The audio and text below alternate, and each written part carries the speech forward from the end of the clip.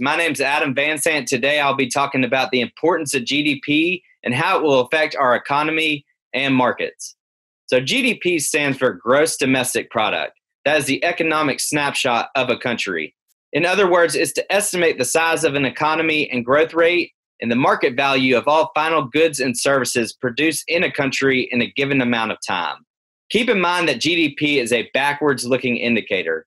The reason I bring this up is because the GDP number that will be released next Thursday, July 30th, will be a reflection of quarter two. This includes the months of April, May, and June. And the reason that's important as well is because coronavirus had a large effect on both the economy and the markets. So the estimates are the GDP number will fall around 30 to 35%. Markets have already baked this in a little bit, but let's keep in mind if the percentage is a little bit better, we might expect the markets to do a little bit better.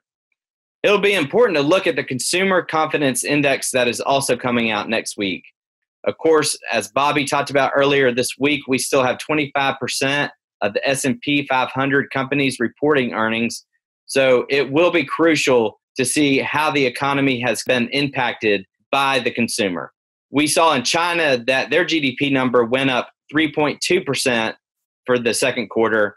And in Singapore, we saw quite the opposite.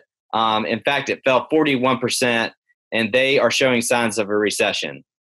I'm not guaranteeing or saying that we will go into a recession if we do get a large number, but it will be something to definitely keep an eye on.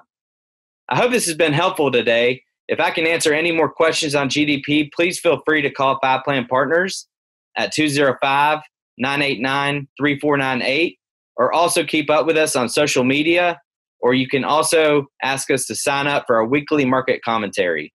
Thanks.